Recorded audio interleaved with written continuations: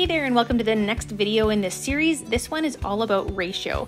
I'm pretty excited about this one because ratio is often taught very procedurally, um, like a series of steps, but when we incorporate models and manipulatives, we can give kids a real, real conceptual and deeper understanding of what ratio really means. So we are going to start out with some Cuisenaire rods. You could ask your students how they might represent this problem using the rods.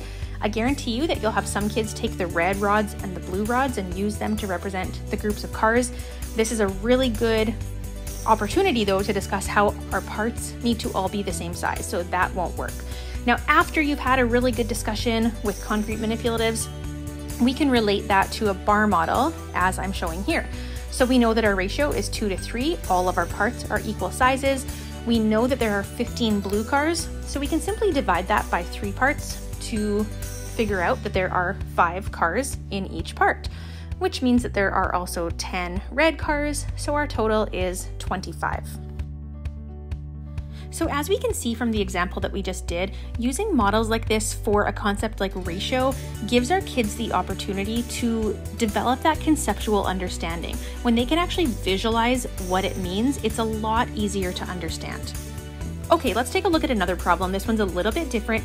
This time we have a ratio of zebras to giraffes, which is 3 to 4. And we know that there's 56 animals in all. This time we know the total. So we're going to draw our bar model, and we can see that all together there are 7 parts, and there are 56 animals.